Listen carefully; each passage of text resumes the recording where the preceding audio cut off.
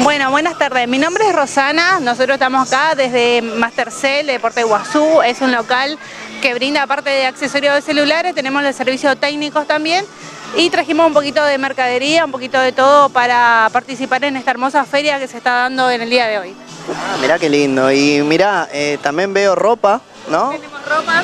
Hay un poquito de ropas usadas, pero está muy buena calidad, está muy cuidadas con unos precios súper accesibles, tenemos un poquito de billutería ahí en la esquina, así que estamos con un poco de todo. Eso es lo importante, que por ahí, por más que sea ropa usada, que sea ropa de calidad. Claro, la idea es que eh, tenga, que se pueda llegar a seguir reutilizando esta prenda, no porque esté usada tenga que estar manchada o tenga que estar rota, lo que fuera, entonces está muy buen cuidado. Exactamente, y veo otros más accesorios por acá, ¿pueden contarle a la gente? Tenemos cargadores, eh, cargadores de iPhone, cargadores tipo C, B8, eh, soportes para celular, un poquito de lo que sea parlantes también, parlantes de, de 12 pulgadas, de 8 pulgadas, de 6,5 pulgadas, auriculares inalámbricos con cables, mouse, tenemos de todo un poco de lo que se vende también en, nuestra, en nuestro local, ¿no? Trajimos un poquito para representar.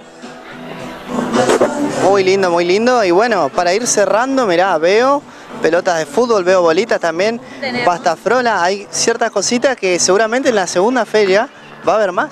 vamos a traer más cosas y invitamos a todo el mundo que venga a participar, que nos venga a, conocer. Hay muchos productos, muchos feriantes y que también vengan a exponer, también el que tenga para, para traernos. Así que bienvenidos sean.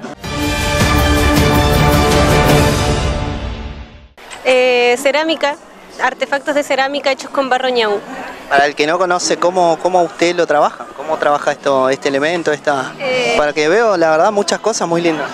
Sí, eh, lleva un trabajo bastante largo, un proceso largo, porque sacamos el barro de un arroyo de, acá de la zona, de nuestra casa, eh, lo dejamos decantar en agua, lo filtramos y luego se deja secar, estacionar para después ya moldear y luego que ya está moldeada la pieza se tiene que secar, cosa que a veces acá se complica porque hay mucha humedad y después ya se hornea y el horneado demora mínimo 8 horas al fuego directo.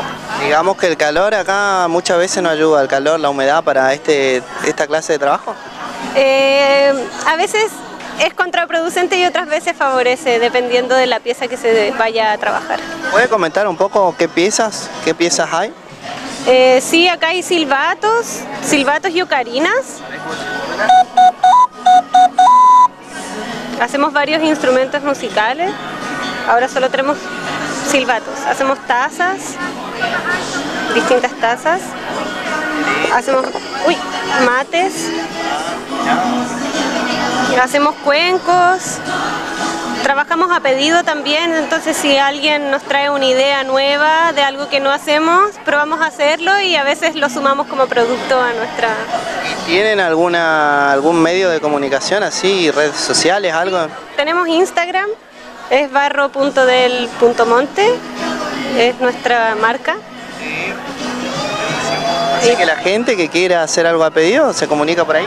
Puede hacer pedido, hacemos aros también, trabajamos pipas y lo que sea que la gente creativa nos pida. La verdad, muy, muy lindo lo que haces y muchas gracias por la entrevista. Muchas gracias a ustedes.